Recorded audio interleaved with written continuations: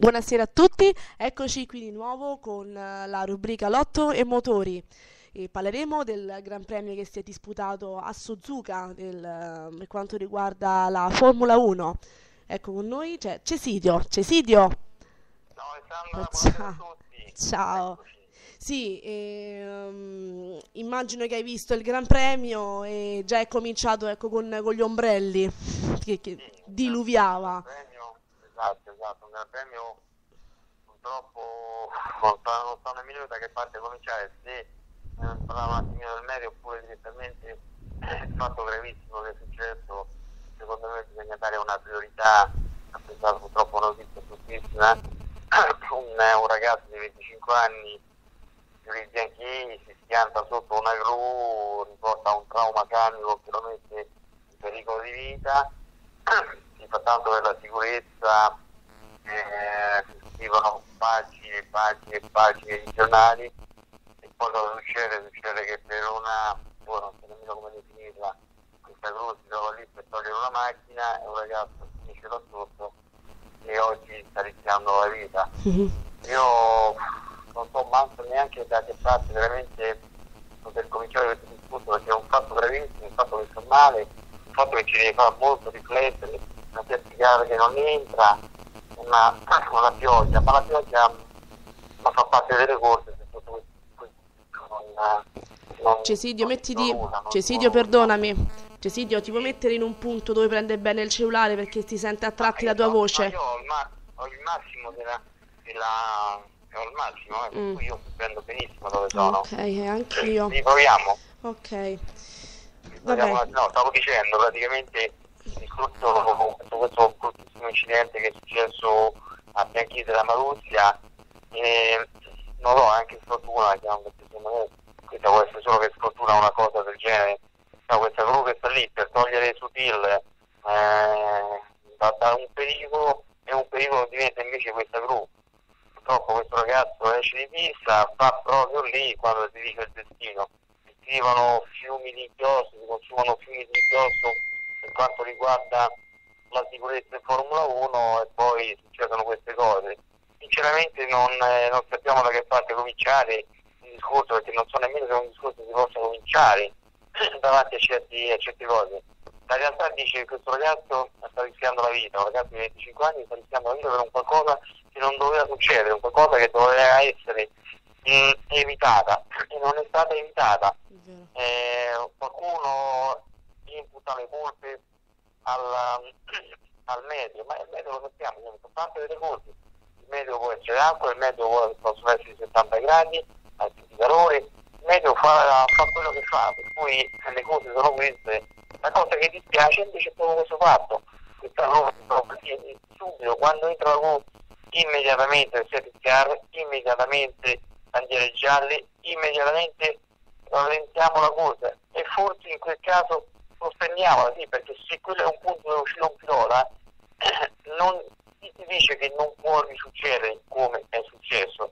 Quindi signori, la, la sicurezza va, va mh, controllata, esaminata in questi particolari, che poi facciamo le monoposto in una certa maniera, sono perfettamente d'accordo, ma non basta quello, la sicurezza è tutto ciò che rappresenta un- una gara dalla A alla Z, per cui niente, questa è una cosa che mi dispiace, mi piace moltissimo, io mi auguro che, che Bianchini riesca a superare il giovane, per cui ha molto dalla sua parte.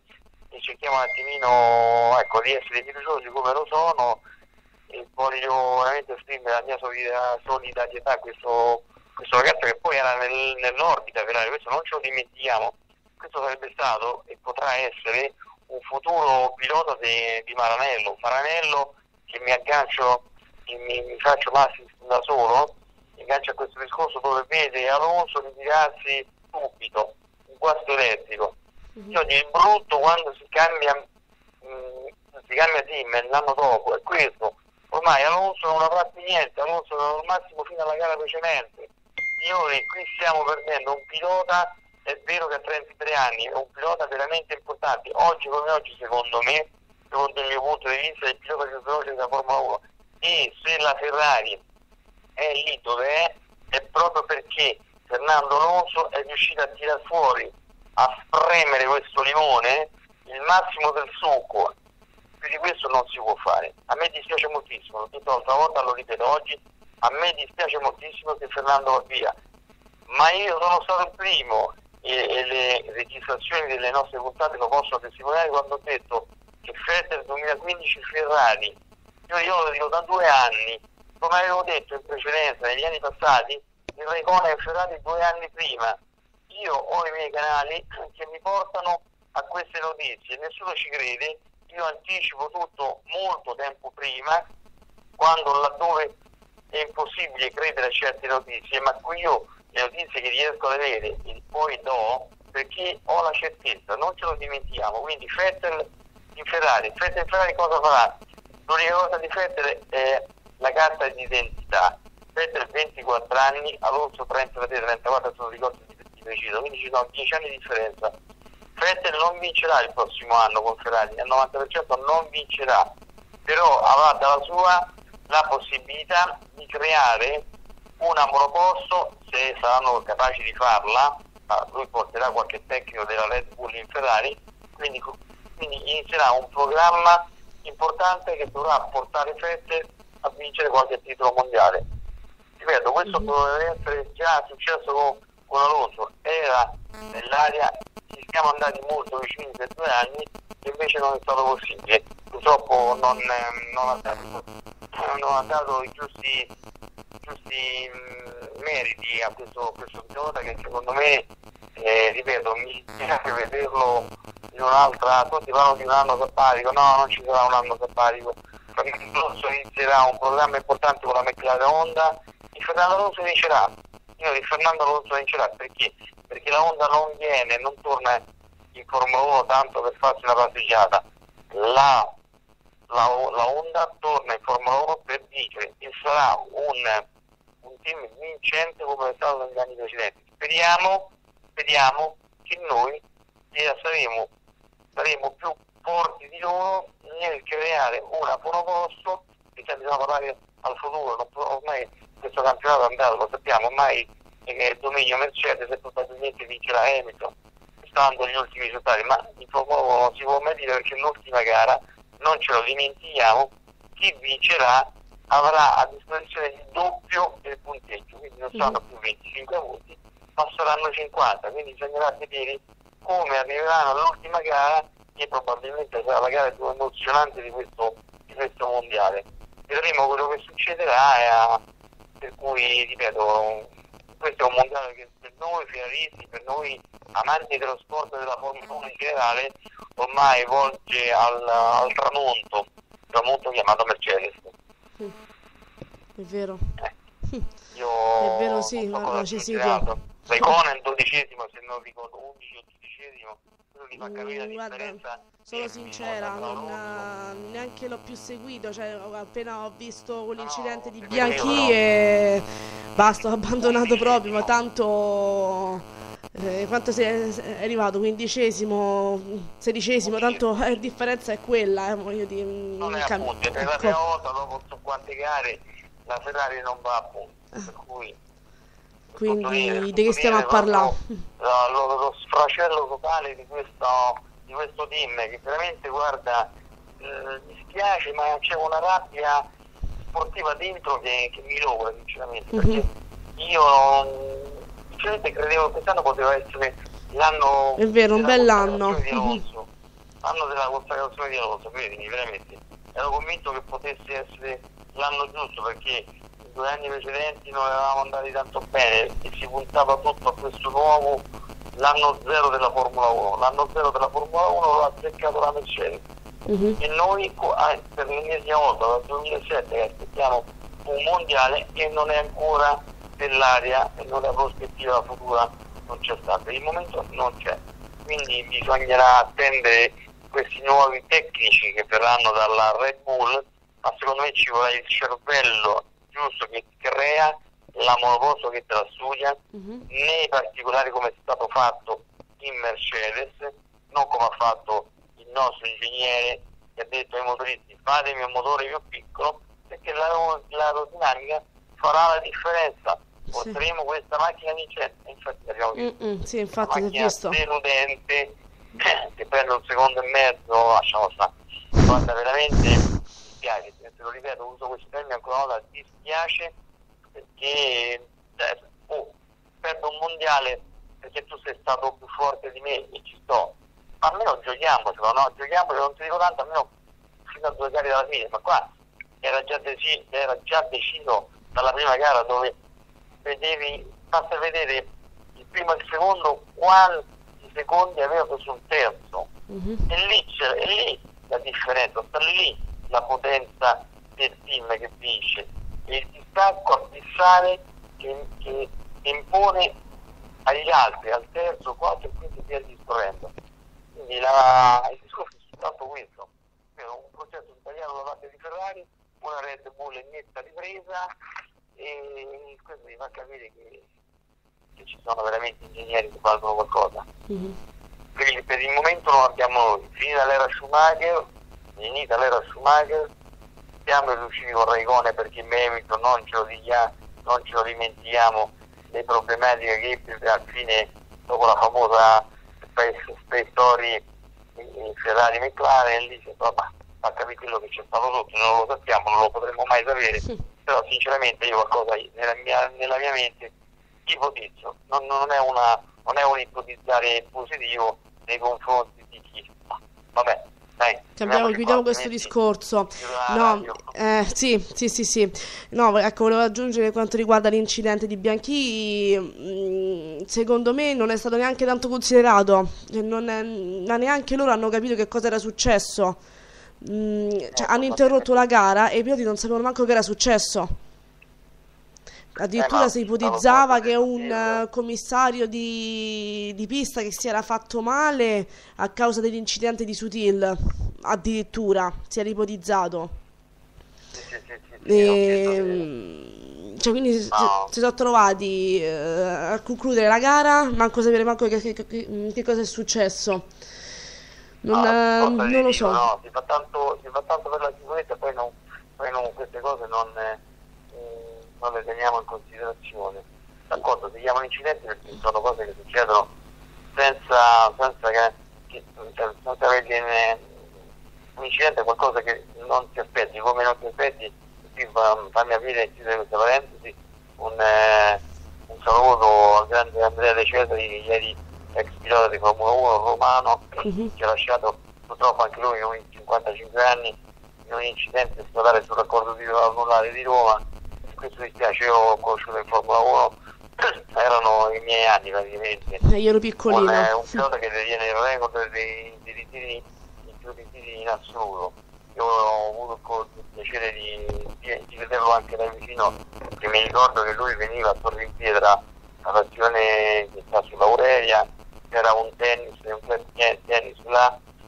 e tutti uno dice questo è, è Andrea Vicenza io sono il pilota di Formula 1 il mille titti da Formula 1 ebbi la piacere di vederlo magari con dei ragazzi. E ieri quando ho sentito questa notizia sinceramente sono rimasto molto molto male. Ne approfitto per fare condoglianze veramente alla famiglia anche perché era un ragazzo come noi sinceramente. Certo. Cioè, Giusto ci si loro ha fatto bene ricordarlo, eh, l'avevo un po' eh, omessa questo, questo discorso. Eh, hai fatto Certo. bene a ricordarlo, hai fatto bene Cisidio. assolutamente era doveroso Mm, è sempre brutto, eh, Eh, chi sì. muore, cioè, puoi morire anche a 100 anni, è sempre brutto. perché la morte non è mai una cosa bella a questo mondo Mm-mm, non è mai una cosa bella qualunque esso sia in qualunque età arrivi È vero, è vero. sono sempre persone che se ne vanno Mhm. eh, vuoi non vuoi ma è così comunque eh, trasferiamo questa parentesi così Sì, dolorosa perché sì. poi alla fine No, di due ehm, situazioni veramente dolorose speriamo che almeno il nostro Giulio Bianchi ce la faccia sono sì, sicuro sono è vero, convinto speriamo. Veramente un grande, un grande forte ragazzo e direi che ce la farà, anche Mhm. perché prima o poi sicuramente lo vedremo al volante di una Formula 1 a gara Maranello. Eh, mm, dicono che è favorevole, sì, alla, mm, alla Ferrari, è vero, l'avevo sentito anch'io. Era nell'orbita Ferrari, ma lo ricordo tutta questa storia, l'ho seguita molto attentamente. Mhm. Era la Marussia per fare esperienza una malizia che sinceramente porta sai questo termine un po' paesano, un po' un po' sfiga perché comunque anche una ragazza ecco mi il nome di coincidenze analogo a questo perché questa ragazza ha perso l'occhio adesso Bianchini sta pensando oh, è un po' caravanti bisogna essere sinceramente eh. vuoi non vuoi però non è che è successo da molto la ragazza faceva, stava facendo dei test proprio con questa macchina e si schiantò anche lei sotto vicino alla gru purtroppo ha perso l'occhio ma ecco perso l'occhio fin da lì a storia però insomma sono sempre situazioni difficili lascio sempre questo, questa mano in bocca Mhm. E, Eh, ci- ok ok, no, Cesidio, no, ne- ripensavo sempre all'incidente e secondo me c'è di mezzo anche il famoso business Formula 1, perché i commissari, se tu hai visto il Gran Premio, ehm, davano proprio già il ritiro di Bianchi. Quindi loro Ah. comunque loro già sapevano dell'incidente, anche perché qualcuno cu- pur comunicato insomma, che questo si è ritirato. Certo Eh, e seco- cioè, far continuare la gara per altri ben 5-6 giri, correggetemi se Sì, no. sbaglio, sì, eh, per che cosa? Per il business, con la Ah, speranza che eh, magari smetteva da piove e quindi entrava la safety car e tutto ricominciava.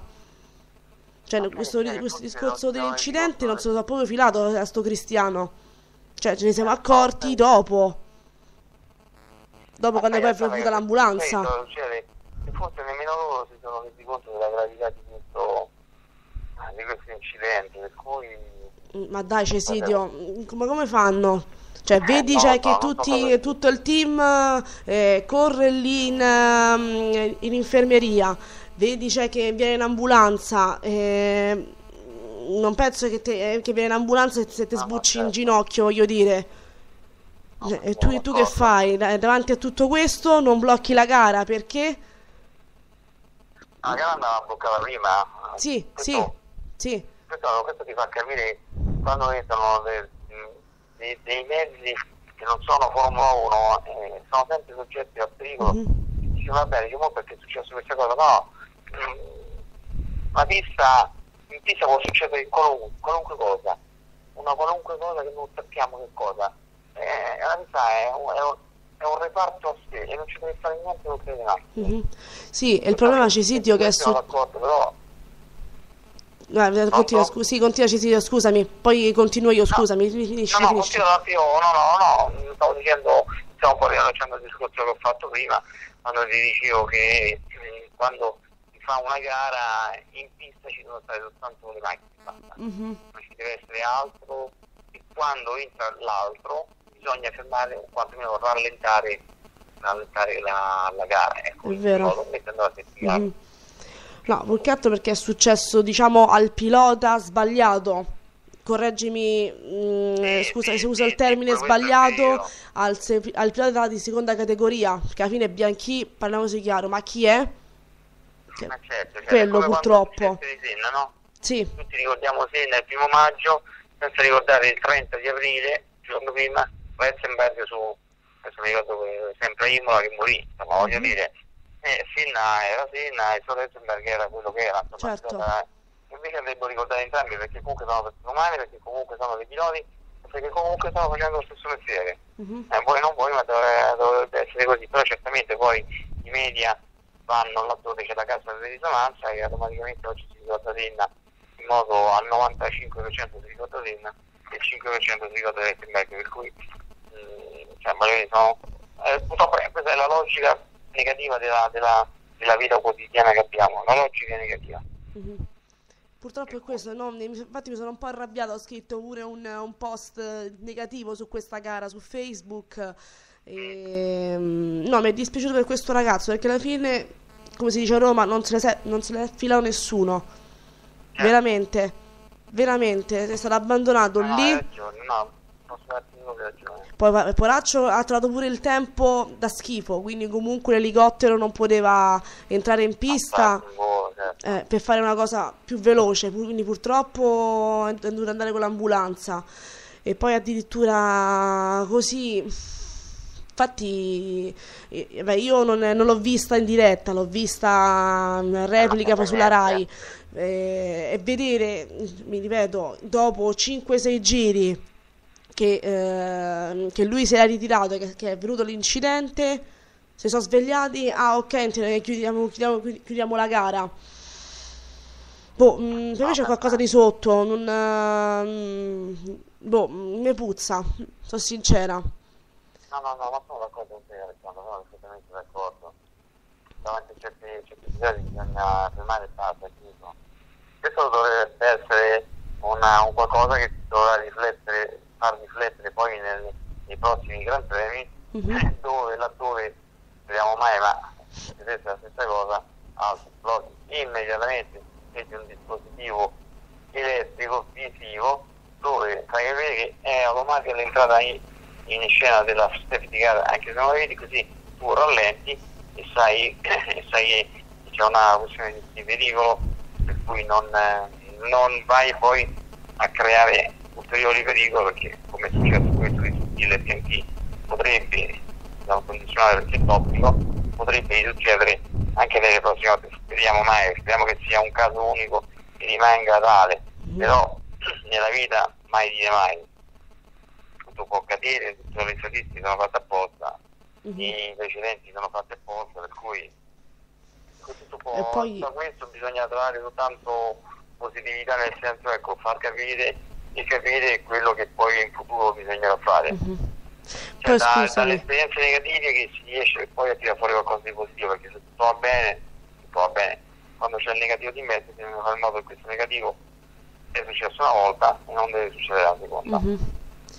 E poi Cesidio, scusami, forse la faccio troppo facile io, ma 10 giri per spostare una macchina? Io ti parlo di Sutil. 10 giri ci vogliono per portare via una macchina dalla pista? Che tra l'altro già stava fuori dalla pista. Bisogna vedere un attimino quali sono le problematiche in quel momento, non lo sappiamo perché non siamo al di fuori non lo possiamo vedere, poi certo 10 giri forse erano tanti, forse no, non lo so, non, non, non si soddisfa perché vero, bisogna vedere l'entità e il modo, ci sono tante situazioni che, che determinano questo, questo, questo ritardo di 10 giri, è anche vero, è anche vero che con, um, con 10 giri si dovrebbe, si dovrebbe fare molto, eh certo. non è stato fatto. Non lo so, Mm, non lo so, è, è, un gran premio che secondo me non andava proprio iniziato, neanche disputato, ma neanche far scattare il primo giro. Certo, l'acqua veniva secchi come cioè, Roma, per cui... Mm, scendeva in un modo assurdo, perché Dio solo lo sa.